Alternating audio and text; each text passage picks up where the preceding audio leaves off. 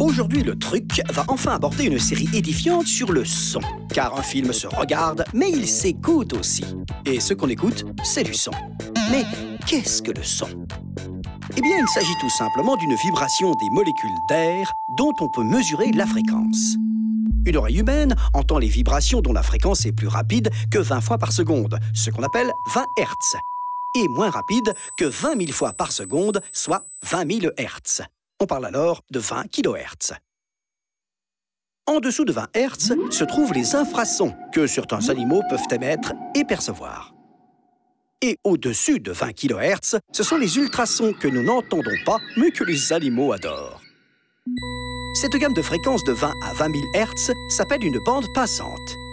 Et pour sonoriser un film pour les êtres humains, il faut donc s'assurer que les outils utilisés acceptent cette bande passante. Voilà. Autre notion fondamentale à maîtriser, l'intensité du son. Elle se mesure en décibels. Et en théorie, l'oreille humaine est capable de percevoir des différences d'un décibel. Voici quelques exemples d'intensité. Silence absolu, 0 décibel. Ambiance sonore d'une maison calme, 30 décibels. Conversation normale, 60 décibels. Tondeuse à gazon, 90 décibels. Marteau piqueur, 110 décibels. À partir de 130 décibels, ça fait mal. Donc, euh, ça ne s'écoute pas. Bref, dans l'idéal, il faudrait que vos outils de sonorisation puissent capter cette dynamique de 0 à 130 décibels. Mais c'est rarement le cas. Nous y reviendrons.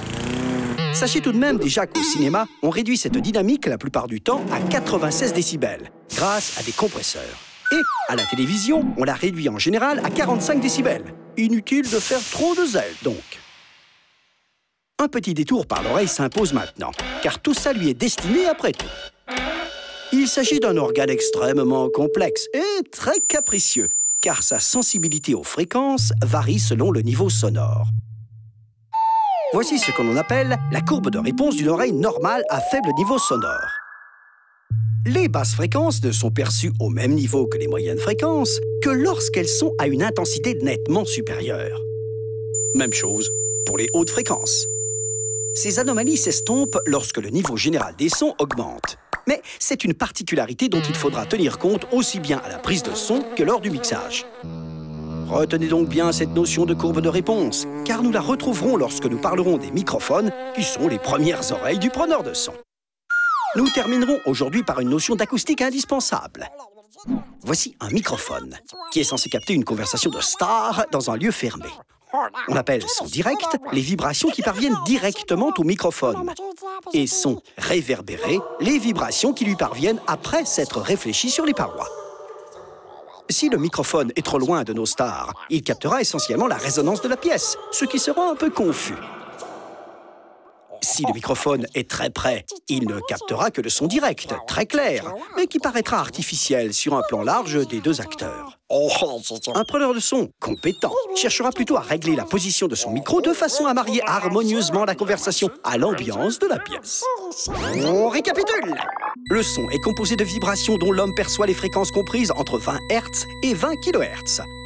L'intensité de ces vibrations se mesure en décibels. À faible intensité sonore, l'oreille humaine perçoit moins bien les basses et hautes fréquences.